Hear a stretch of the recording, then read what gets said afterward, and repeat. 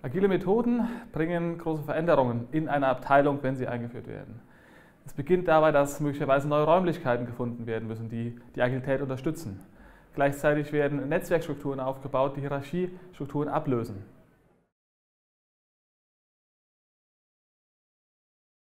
Unbedingt. Eine große Chance für die interne Kommunikation, wenn sie diese Chance nutzt. Sie kann als Katalysator wirken wie kaum eine andere Abteilung in das Gesamtunternehmen hinein und soll diese Chance zur, äh, zum agilen Aufbruch nutzen.